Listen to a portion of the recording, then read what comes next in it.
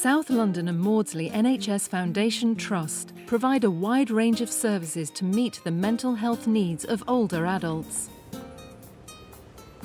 Many are based in the community. However, for some people, their first point of contact with the services that SLAM provide may be through an inpatient psychiatric liaison team based in a general hospital. The psychiatric liaison team is a team of mental health professionals based within the Guy's and St Thomas's hospitals. Uh, we're an old age liaison team, so we only work with adults over the age of 65 years.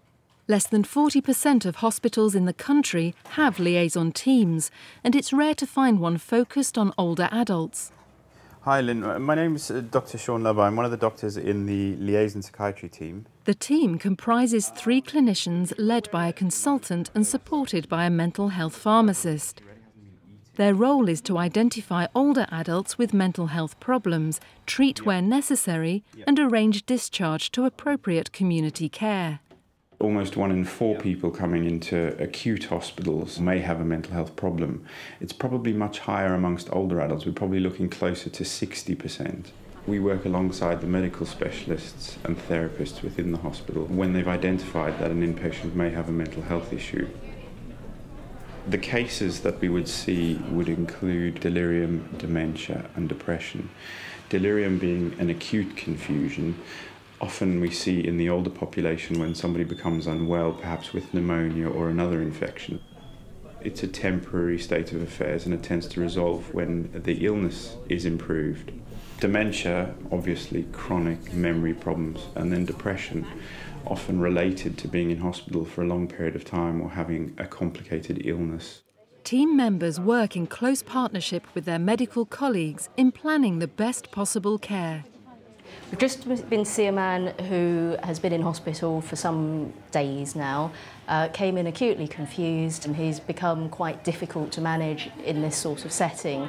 So we have been asked to become involved just to help keep him safe and keep others safe around him as well. The team intervened to offer specialist psychiatric support. He's been started on a medication regime.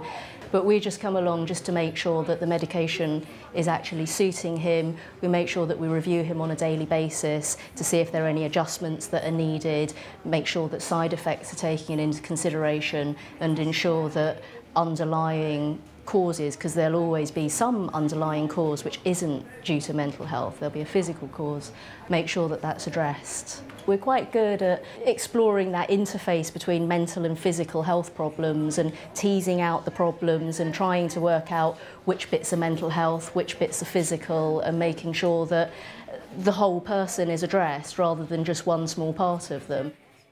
The team do this through regular attendance at multidisciplinary ward meetings. We all sit down, physiotherapist, occupational therapist, medical team and nursing staff, uh, and flag up any particular issues or concerns that they might have. Then if a patient has particular mental health issues, concerns, or input is required from our team, it's a place where a referral can be made or where I can offer advice to the team so that they can better manage the patient. This holistic approach also extends to ongoing care. I think the most difficult thing uh, for the population that we work with is the lack of awareness about the services and support that are available to them. Advocating on their behalf is a very important part of our role. Uh, we work closely with our colleagues in the community as well as GPs to keep them abreast of any treatment or any diagnosis that's been confirmed and treatment that's been initiated.